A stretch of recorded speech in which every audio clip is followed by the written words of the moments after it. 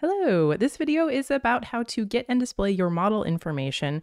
That is your measure descriptions, your measure expressions, your calculated column expressions, your descriptions, and so on, and display that to your report viewers. We can do that contextually through relationships, and it's super cool. Ironically, I just did a video about how to do this by querying the Power BI service last week. And then they released this new feature with info measures and calculated tables this week. So I'm probably to be unlisting that one. It's how technology goes lately, am I right? But this new method that I'm going to show you is much easier, much faster, and it's much better because you don't have to have your report published to do it. If you're not super familiar with DAX, don't be intimidated. This is literally the easiest DAX you'll ever write in your life. You can even copy and paste it from the video description if you want to. So these functions have been around for a long time. The major change is that we can now use them in calculated tables, meaning we can put the data in a visualization. So to do this, we're going to go to the modeling tab and then click on new table. Don't do this enter data button here. That's the wrong kind of table. We need the one in the modeling tab. And then we're going to give our table a name. So I'm going to query measures first. So I'm going to call this info measures. You can call it whatever you want. And then for our expression, we're just going to do info dot view. And then you can see the options here. So we can do columns, measures, relationships, and tables. So you want one calculated table for each of these that you want to display. I'm going to start with measures and hit enter. So what that does is it adds a table for us over here on the right, and we can look at it in table view over here. So you can see the measure name, the table it's in. This is a description here. It's super wide. Data type has nothing in it for me, which is kind of weird. There's our expressions, super long column, and a format string. So this is like date format will be in that one. So I'm going to come back here and add tables for each of the other queries, so the columns and the tables.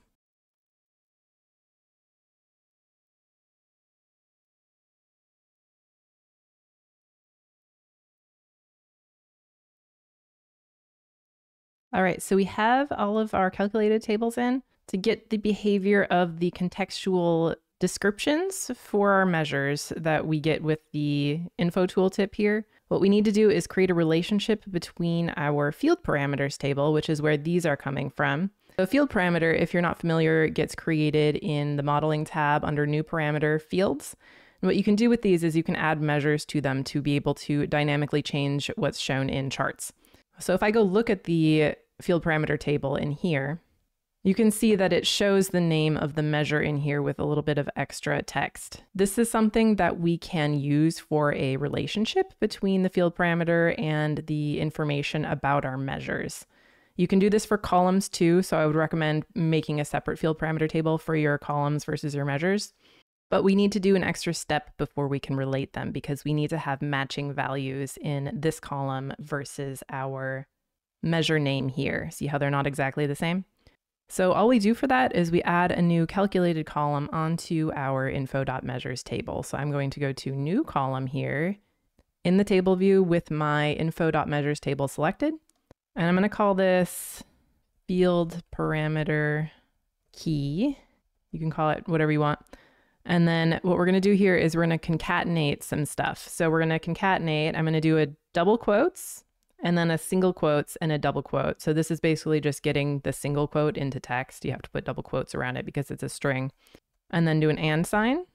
And then we want our table name that the measure is in. So I'm going to start typing table and it'll pop up. So we want our info measures table name, and another and, and then the same double quote, single quote, double quote to close that.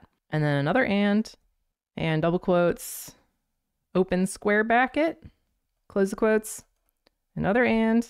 Now we need our measure name. One more and, and then close the square bracket in double quotes.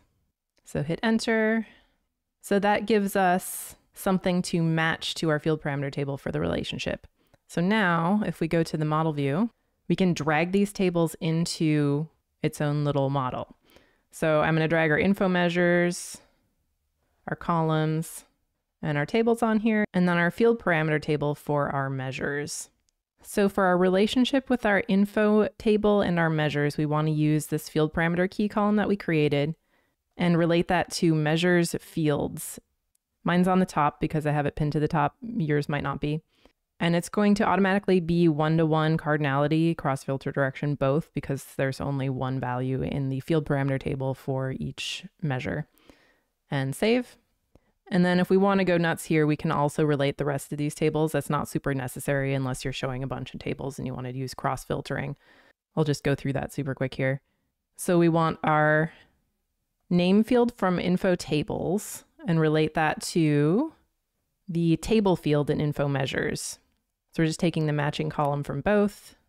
And then we want to relate our tables to our columns in the same way. So that's got a table field also. We use, it's up at the top now, name to filter table, save. So now if I go back to my report, I have an info icon here. So these are in the insert menu under buttons. There's info and there's help question mark. This info icon is supposed to be showing information about the measure that's selected in our field parameter slicer here. So because I created that relationship between the field parameter table and our measure metadata, I can just drop that into the tooltip here under action.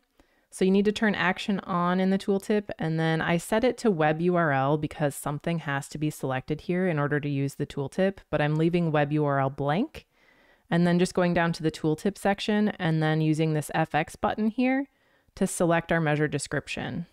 So that was this one here. So it's going to take the first value. It's a one-to-one relationship, so that's totally fine. And just click OK.